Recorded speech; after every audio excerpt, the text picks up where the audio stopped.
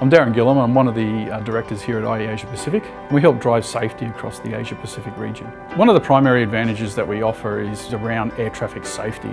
So we monitor the accuracy and detection rate of radar systems. Uh, we're doing that across the entire Asia Pacific. We cover 44 million square kilometres of airspace and we are the only provider that does this. Air traffic forecasts across the Asia Pacific region are the largest forecast in the world at the moment. We have used Austrade uh, ever since we started. Our first introduction in Malaysia back in 2009. So we found it a very useful way of making contact within the local markets. You know, what is unique about Asia is it's a very personal culture. You need to be there, you need to be present and, and shake hands with the person. You cannot do business remotely.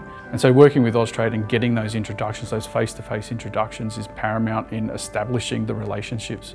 And relationships are everything.